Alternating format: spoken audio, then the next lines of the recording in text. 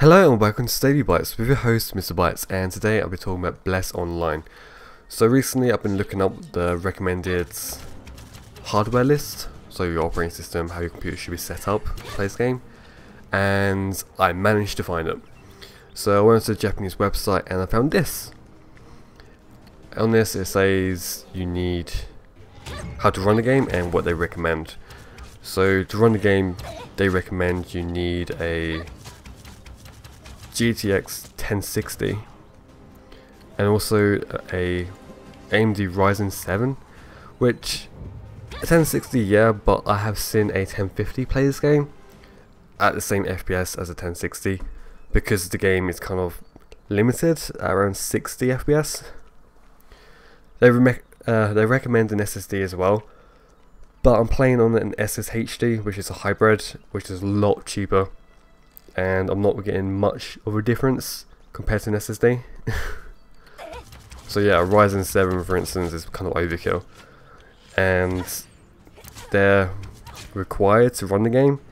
A GTX 760 they recommend, but I've seen a 750 Ti run this game on medium settings.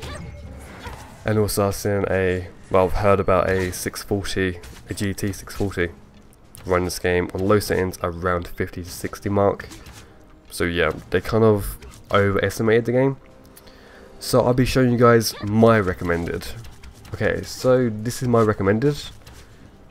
So on the left you've got the minimum, and on the right you've got the maximum, and in the middle you've got kind of in between, so the medium. All these will get on average based on the setting group they're in. So low hardware being low settings. You should be seeing around 50 to 60 FPS on low, but only in open areas, not built up towns, and not in mass PvP. and this is what I recommend. So if you go to the minimum side, 8 gigs of RAM is enough to run the game. People say there's a memory leak, but I haven't run into it yet. My game runs it says it's using 4 gigs, but if you check it's actually sitting around 6 to 8. But normally it's 6. With more RAM it sits at 8. But when I'm at 8 gigs of RAM only, it sits at 6.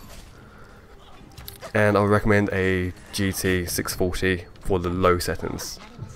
A standard hard drive run at its max speed, so a 7200 RPM you need 55 gigabytes of free storage though.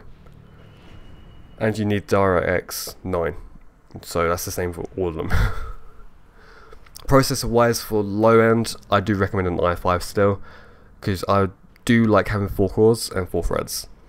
You're looking at least at 3 gigahertz or like performance on it, processing power.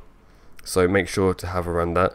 If you've got slightly less, you should be less than 60 for FPS, but you should be able to play still.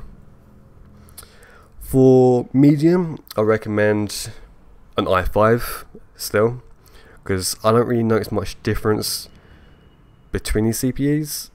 If you keep a 4 core CPU, so like a Ryzen 3 for instance, technically you shouldn't have any issues. You don't really need loads of cores to play games.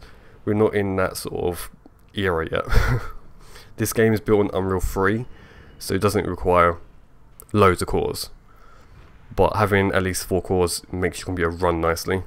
One core for your Windows, one core for the game, and two left for you to mess around with. 8 gigs of RAM again, and a GTX 1050 Ti or an AMD Radeon HD 7870. I recommend an SSHD because that's what I'm running and I have no issues. This is medium settings.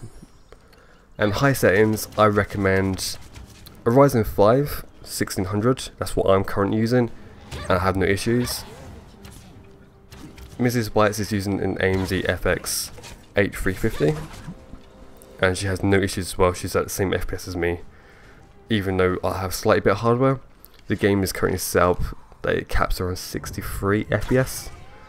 I'm using 16 gigs of RAM, but I recommend 12. That gives you 6 for the game, and then gives you another six, which is like Windows is one gig, YouTube recording, stuff like that, so you've got extra space.